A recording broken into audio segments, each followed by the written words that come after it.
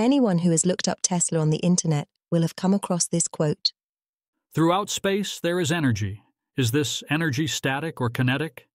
If static, our hopes are in vain. If kinetic, and this we know it is for certain, then it is a mere question of time when men will succeed in attaching their machinery to the very wheelwork of nature. This is absolutely true, in my opinion. The electric universe people believe that electricity plays a huge role in cosmology. This too is undeniably true. When we see clouds of lit up plasma, that is evidence of electricity, so we know it is there. We also know that electric forces are many orders of magnitude larger than gravitational ones. Therefore, its role in cosmology is proven. The EU have developed a model of how stars are like beads on electric strings. Through an entirely different line of reasoning, I had come to the same conclusion. I had developed a theory of consciousness and reality.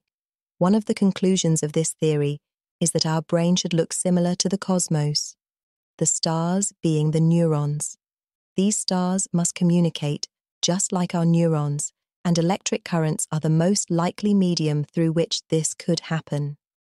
So, given the fact that we are living inside this huge electric machine, I would say that it is merely an engineering challenge to draw the power that we desire directly from this machine. The above quote is from 1892, and Tesla still lived for 51 years after that. Had he worked out how to accomplish this? In this video, I will present evidence that he had, based on his own words.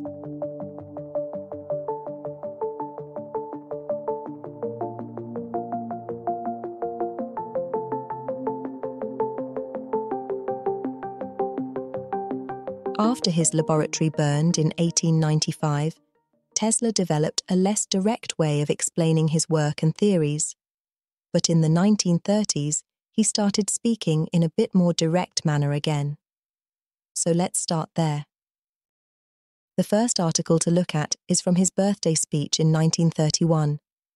Tesla, 75, predicts new power source. Points of interest are 1. Reference to cosmic rays from the sun. 2. Mention of the steel industry. 3. He had been working on it for 36 years, meaning it started in 1895. 4. At first, the cost may be found too high. 5. An apparent contradiction about being constant or intermittent. 6. His theories were confirmed at Colorado Springs. There are several other articles, but most do not add anything to this list. Then there is this one from December 1931 our future motive power that tells a story that Tesla repeats four times in various places. We will get to this later. For now, let's call it point seven. Later on his birthday in 1932, this article appears.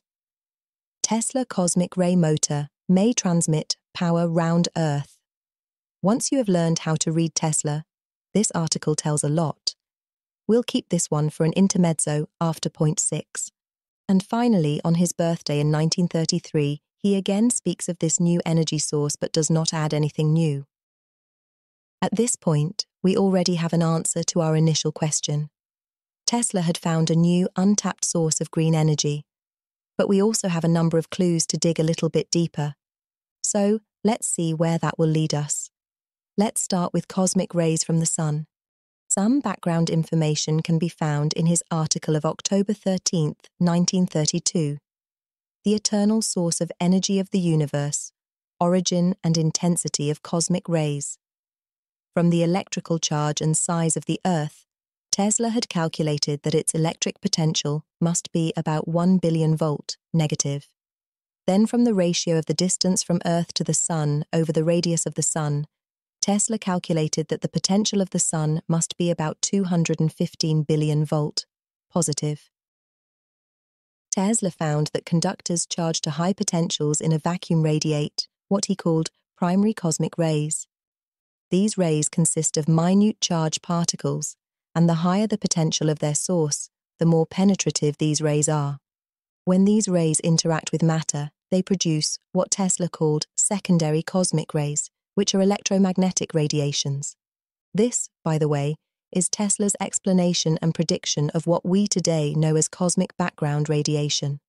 Tesla wrote two patents method and apparatus for the utilization of radiant energy. Many believe that this describes the method of tapping Tesla's new energy source. But if you read it carefully, it states that using this method, a feeble current can be generated. Obviously, we cannot run our modern world on this feeble current. In my opinion, this patent is not meant, as usual, to make money of, but instead to pass on valuable information to future researchers. It describes how the primary cosmic rays of the sun charge the Earth and possibly cause lightning here on Earth. Now, let's go to our second clue the steel industry. Where have we seen that before? In his article, The Problem of Increasing Human Energy of June 1900. Increasing human energy could refer to providing a new energy source for us. This article is the prime example of what I have called the Tesla Code. Tesla does not talk in direct terms here, as I mentioned earlier.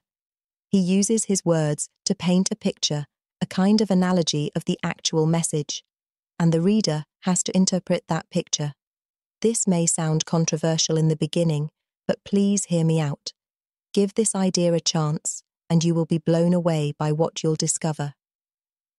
Tesla goes to quite some length to describe a new production method for iron. Here are some interesting quotes. A certain kind of sand ore existing in abundance in the region of the Great Lakes. Studying this article will eventually reveal that iron here is a symbol for electricity. This sand ore is a source for electricity, and what he refers to is obviously the power plant at the Niagara Falls. The production of iron from sand ores by a process of magnetic separation is highly commendable in principle. Electricity is mostly generated using magnetism. An electrolytic cold process, which would make it possible to extract iron cheaply. Using electricity to extract iron, in other words, using electricity to extract more electricity. Extract it from where, you may ask? Well, reading the entire article, you will find this piece of code. Burning atmospheric nitrogen, Nitrogen is present in the air, but it is very inert. We have to use electricity to extract it from the air and create compounds with which we can fertilize the earth so that plants can grow. Now replace nitrogen here with electricity. This then becomes we have to use electricity to harvest electricity from our atmosphere and distribute it through the earth so that industries can grow. The third clue then.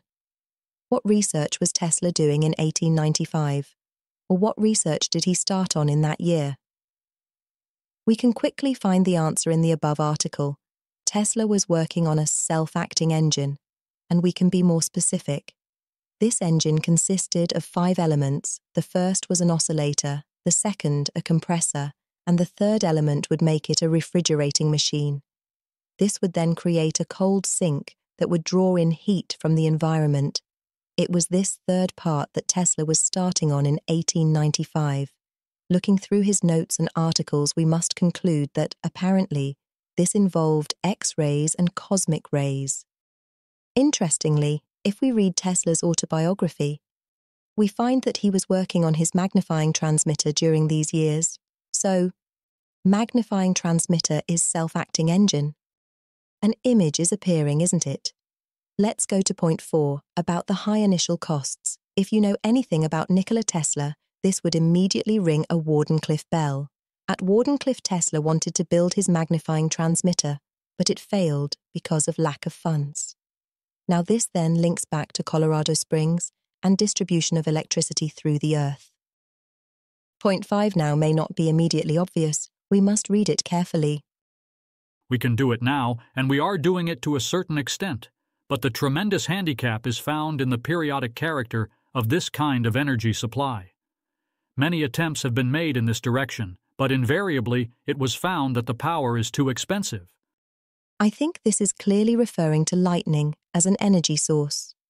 The ways we have tried to tap this energy all run into problems because it comes in very short, very powerful pulses. Tesla is doing it in a much more controlled manner. One could say that he gets the energy before it turns into lightning, According to Tesla, the solar radiation is the ultimate source of this energy. This supply is constant, but it turns into periodic lightning strikes. I would like to add that I have read the Feynman lectures on this subject, and there appears to be a huge oversight. Feynman says that the Earth and ionosphere form a capacitor that is charged to some 400,000 volts. This capacitor is leaking almost 1800 amperes worldwide. But lightning keeps this capacitor charged. It sure looks that way, I have to admit. But this would violate the laws of thermodynamics if there wasn't some outside source of energy. Obviously, the only possible source here is the sun.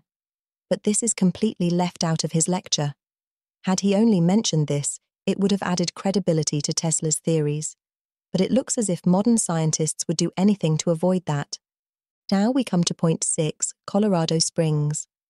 We already found this link through Tesla's magnifying transmitter. The importance here is that Tesla states that he had found evidence here that his method would work. I would like to add one more point of interest here. In March 1904, an article appeared the transmission of electrical energy without wires.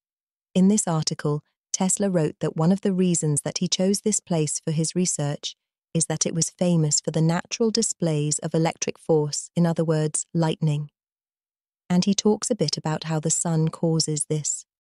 Before moving on, let me get a diagram of a magnifying transmitter and add in element 1, the oscillator, element 2, the compressor, element 3, the expansion nozzle. These create the cold sink of the self-acting engine. Now read this article of his 1932 birthday, Tesla cosmic ray motor may transmit power round Earth. I have harnessed the cosmic rays and caused them to operate a motive device. Confirming what we already had found, now how does it work? I will tell you in the most general way. The cosmic ray ionizes the air, setting free many charges, ions and electrons. These charges are captured in a condenser, which is made to discharge through the circuit of the motor. And we know that. I have hopes of building my motor on a large scale, but circumstances have not been favorable to carrying out my plan. Okay, the final point then. I have to remind you that Tesla uses his words to paint a picture. It should not be taken literally. The sun raises the water to a height where it remains in a state of delicate suspension until a disturbance of relatively insignificant energy causes condensation at a place where the balance is most easily disturbed. The action, once started, spreads like a conflagration for a vacuum is formed and the air rushing in, being cooled by expansion, enhances further condensation in the surrounding masses of the cloud. Well, I'm sure you'll get this picture now. And this is what gives me the energy to stay focused on this research for so many years the promise of a new source of sustainable energy. Wouldn't that be great? And you could be involved.